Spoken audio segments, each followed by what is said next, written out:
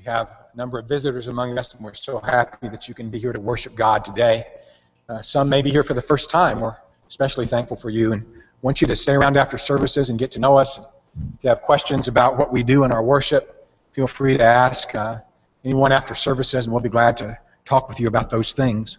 I want to make mention that tonight after services, uh, from about 6:15 to 6:45 or so, uh, those who've been meeting for the home Bible study class will conclude that series uh, back in the room in the back. Um, and if you've been in, in that class, I encourage you to be there tonight as we wind up our study of the home Bible study material.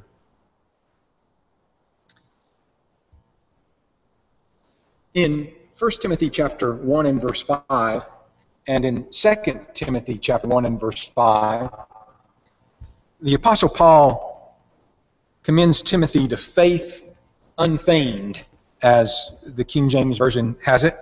1 Timothy 1 and verse 5 says, Now the end of the commandment is charity out of a pure heart, and of a good conscience, and of faith unfeigned. The New King James Version there says, sincere faith. In 2 Timothy chapter 1 and verse 5, again, Paul writing to his young friend Timothy, he says, When I call to remember, remembrance the unfeigned faith that is in thee, which dwelt also first in thy grandmother Lois and thy mother Eunice, and I am persuaded that in thee also. The New King James Version there, instead of saying unfeigned faith, says genuine faith. When we talk about something being unfeigned, it means it's genuine, it's real, it's sincere, it's not faked. Our faith needs to be unfeigned. It needs to be genuine, sincere, not fake. When we were living in Gadsden, Alabama in the early 1980s, uh, there was an elderly sister in the congregation there that passed away. And she had a good bit of furniture in her estate. We didn't have any furniture in our estate at the time. And uh, as a result of that, her children decided to give us, I think, a washing machine and also a china cabinet, a hutch, sometimes they're called, that for, for years was by far the, the nicest looking piece of furniture that we had. You know, we, we still have it. It's, it's sitting in our dining room now. And a lot of times when people would walk into our house, of course, they, they could look at our old ratty couch and our tables that, you know, were looked like they didn't look, you know, much, and, and they'd try to find something to compliment, and there really wasn't anything there. So they'd look at this hutch, and they'd say, "Oh, well, that's beautiful. You know, what a that's that's really nice. That's that's carved so." And if you look at it, it looks like, especially if you stand back a little bit, that somebody has just spent a, a lot of time with the woodwork in there, and it's just carved so beautifully. It has all of this ornate stuff on it. You know, the thing is made out of plastic. it's it's fake from top. I don't. I'm not sure if there's any wood in it. Is it is it is plastic. All that beautiful stuff. And you, you can't really tell, even if you get really close, you have to tap on it. When you tap on it, you say, you know what, that's plastic. A lot of Christians are like that. They look just right on the outside, and even maybe if you look pretty close, it's just exactly what a Christian should be. But it's plastic. It's feigned. It's not real.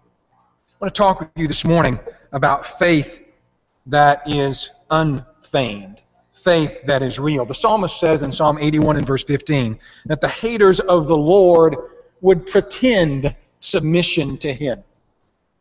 We're not pretending as Christians. We're not playing like we believe in God. We're not playing like we're obedient to God. We really must be. And so that brings us really to the first point that unfeigned faith is faith that is lived by. If you believe it, you live it. In Romans chapter 1 and verse 17, as Paul talks about the gospel of Jesus Christ, he says, In it the righteousness of God is revealed from faith to faith, as it is written, The just shall live by faith. My understanding of Paul's meaning in this passage is this that the gospel, which we have in the New Testament, is God's revealed faith. It is the faith. And in, in this gospel is revealed the faith by which our faith lives. We live by the faith that is in the gospel, from faith to faith. I believe is the import of what he's saying. And so the just shall live by faith. A lot of us have Facebook. You have a Facebook? I know some people despise Facebook, some people don't know what it is. But when you sign up for Facebook, they ask you if you want to tell a little bit about yourself so people that visit your little page can, can tell it and, and can, can know a little bit about you. And, and, you know, there's this place for religious views or something. And I know a lot of you put things like a Church of Christ or this or that. I thought about that a long time. That's weird. That's the one. That's the question I got stuck on when I was signing up for my Facebook. I, what should I? What should I? What are my religious views? What, do I really believe? What, what do I really want to say here? I finally just decided I was. I, what I put was whatever the Bible says. Whatever the Bible. That's what I believe. That's what I'm trying to live by. That explains my religious views as much as anything I can think of. Whatever the Bible says. Faith that is unfeigned is faith that lives whatever the Bible says. In Galatians chapter 2 and verse 20, the Apostle Paul says, I have been crucified with Christ. It is no longer I that live, but Christ lives in me. And the life which I now live, I live in faith. That faith which is in the Son of God who loved me and gave himself for me. That's a life of true faith. In Hebrews chapter 10, if you look there with me in your Bibles this morning, Hebrews chapter 10 and verse 38, the apostle, whoever the Hebrew writer is, quoting here the same passage that the apostle Paul referenced in Romans 1:17 uh, that we read a little earlier. He says, "Just shall live by faith." And if anyone draws back, my soul has no pleasure in him.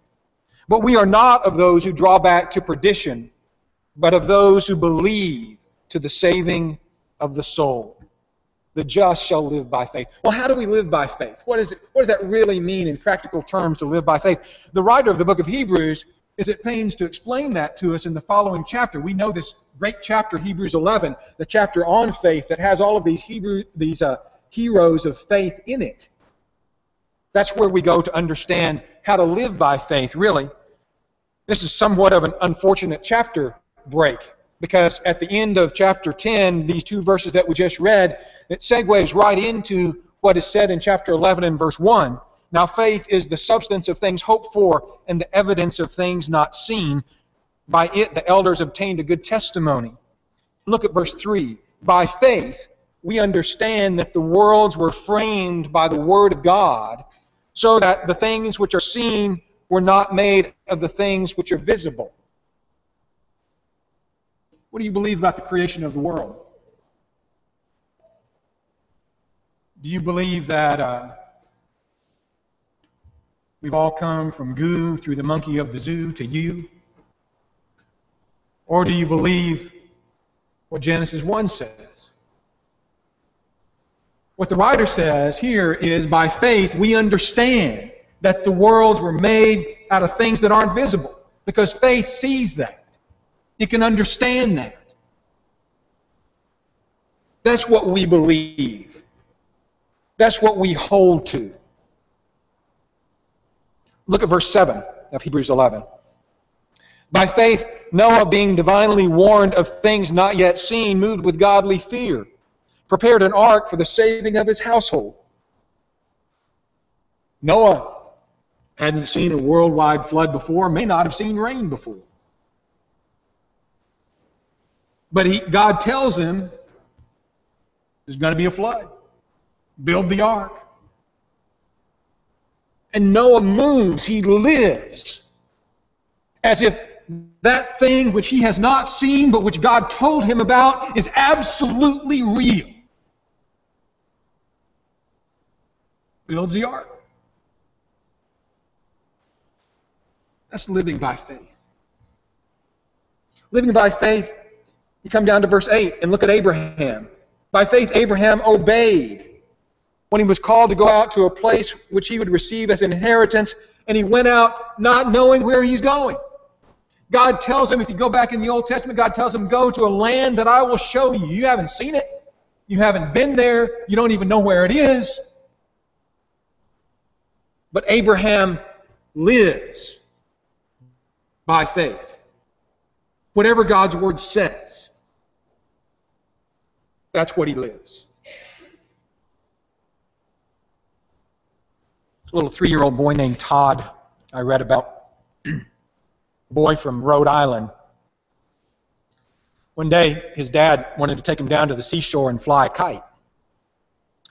Todd had never seen a kite fly before. Of course, he'd seen airplanes fly and birds fly and lots of things fly, but he'd never seen a kite fly.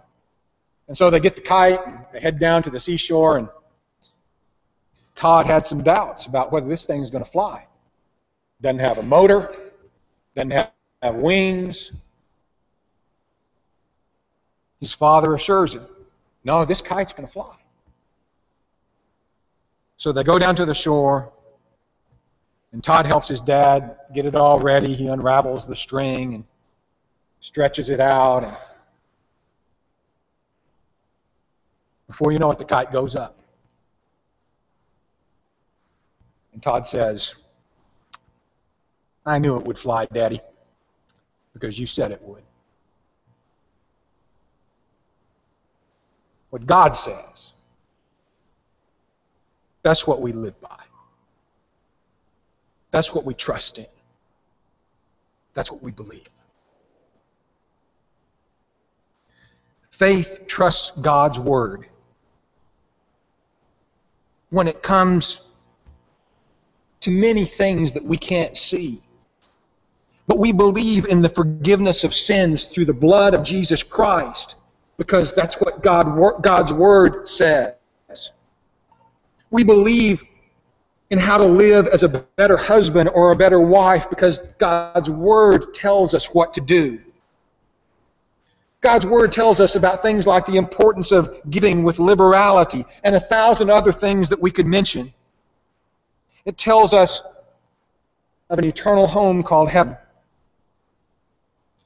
That, like Abraham, we've not seen where we're going. But we trust that it's there, and we live by faith on the journey. Faith that is genuine, that is unfeigned, is faith that is lived by. Faith that is genuine and is unfeigned is faith that prays. Prayer, you know, implies confidence in the existence and the power and the goodness of God. If you don't believe that God exists, you're likely not going to try to talk to him. If you don't believe that he's powerful and that he can do anything for you, you're probably not going to talk to him. And if you don't believe that he's good and wants to help you, you're probably not going to talk to him. So prayer demands faith in the existence, the power, and the goodness of God.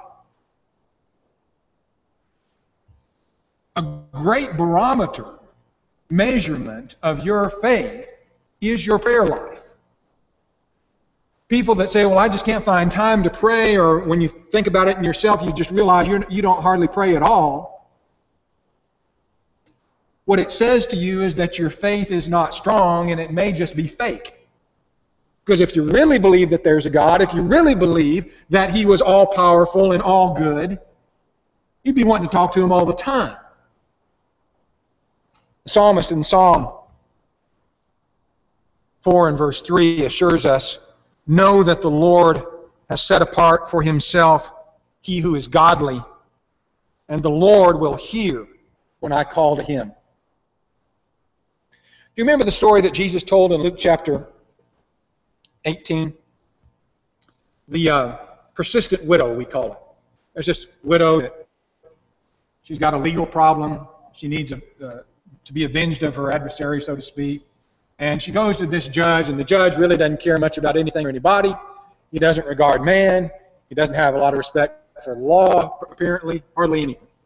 But the woman keeps on going to him, persisting in her appeal to get justice, to be avenged. And finally, the judge gives in because of her persistence. And the Lord said in Luke 18 and verse 6 Hear what the unjust judge said. And shall God not avenge his own elect who cry out day and night to him, though he bears long with them? I tell you that he will avenge them speedily. What Jesus is saying here is that if we are persistent and faithful, surely if an unjust judge would grant a request because somebody was persistent, our God, who is just and holy and good, will grant our requests. But then Jesus adds a, a, a rather puzzling statement when you first see it to the end of this.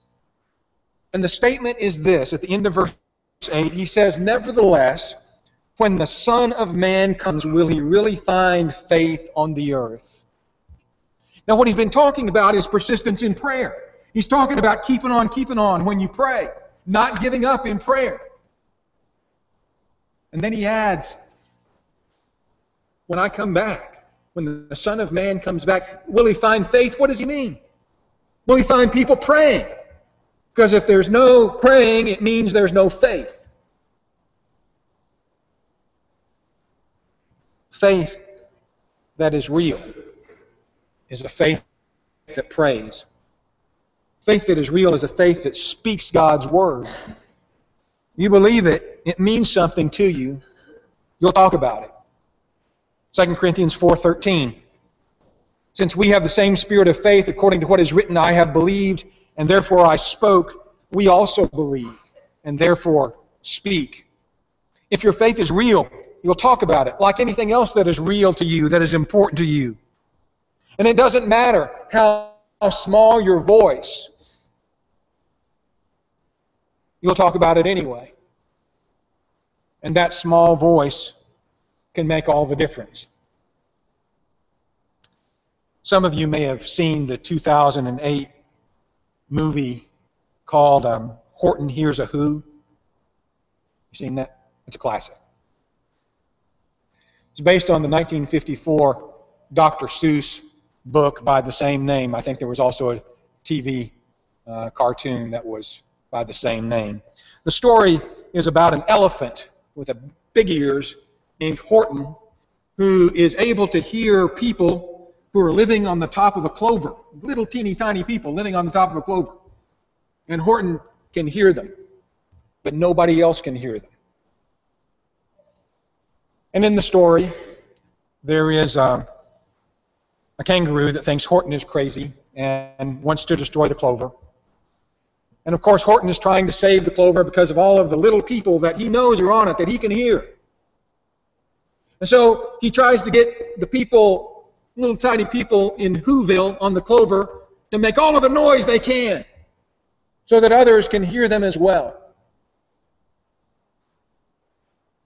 And as the story goes, all of the little who's in Whoville are chirping and shouting and yapping at the top of their lungs, and still nobody but Horton can hear. And the mayor of Whoville is trying to figure out what the problem is.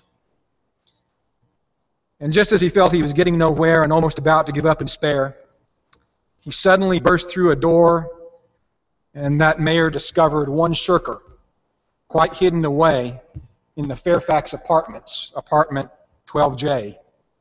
A very small, very small shirker named Jojo was standing, just standing and bouncing a yo yo, not making a sound, not a yip, not a chirp. And the mayor rushed inside and grabbed the young twerp, and he climbed with the lad up the Eiffelberg Tower this, cried the mayor, is your town's darkest hour. The time for all whose who have blood that is red to come to the aid of their country, he said. We've got to make noise in greater amounts.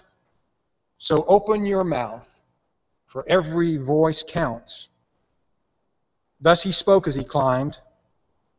And when he got to the top, the lad cleared his throat and shouted out, Yop. And that yop, that one small extra yop, put it over. Finally, at last, from the speck on that clover, their voices were heard. They rang out clear and clean. And the elephant smiled. Do you see what I mean?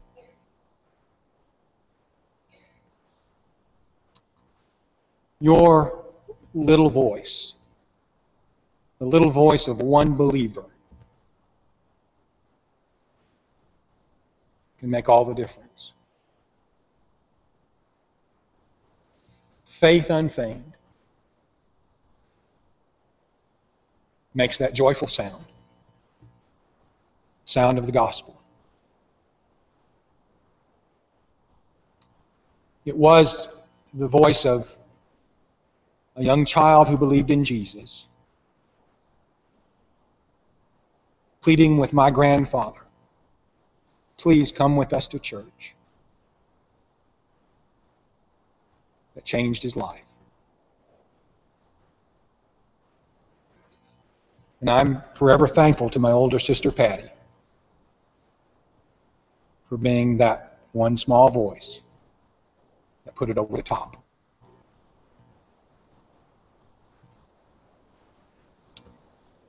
Faith speaks God's word. Faith grows stronger through its trials, and there will be trials. Lots of them. In Acts 14 and verse 21, when they preached the gospel to that city, Luke records, and made many disciples, they returned to Lystra, Iconium, and Antioch, they being Paul and Barnabas, strengthening the souls of the disciples and exhorting them to continue in the faith, saying, We must through many tribulations enter the kingdom of God. Continuing in the faith. A real faith, folks, means that you're going to have to suffer. You're going to have to, to go through some things. It's all a part of it. James in James chapter 1 and verse 2 says, My brethren, count it all joy when you fall into various trials, knowing that the testing of your faith produces patience. Paul tells us that all that live godly in Christ Jesus will suffer persecution. The book of 1 Peter, as we studied this morning in our auditorium class, is filled with the concept that suffering is part of faith in Christ. Faith that is unfeigned isn't a faith that says, oh, I, I, I, I need to avoid that. I can't do that because that might hurt. Or this is going to be difficult, and so I'm, not, I'm, I'm shunning my responsibility. Faith that is unfeigned is willing to endure that. Faith that is unfeigned makes an impression on others. Because, as we said earlier, it is lived and it is spoken. Other people will talk about your faith as they talked about the Romans faith. Romans chapter 8 and verse 1. Paul says, I thank my God through Jesus Christ for you all that your faith is spoken of throughout the whole world. Think about that. People whose faith is spoken of all over the world. That's real faith. People don't talk about fake faith all over the world. The faith that is real, that makes an impression. People talk about that. And it will be an encouragement to others who have the same faith. In Romans chapter 1 and verse 12, I may be encouraged together with you by the mutual faith, both of you and me. Ephesians 1 and verse 15. Therefore, I also, after I heard of your faith in the Lord Jesus and the love for all the saints, do not cease to give thanks for you, making mention of you in my prayers. Faith makes an impression on others if it's real, and it will change the world. Paul commended the Thessalonians in 1 Thessalonians 1 and verse 8 that from you have sounded forth the word of the Lord, not only in Macedonia and Achaia, but in every place your faith toward God has gone out, so that we do not need to say anything.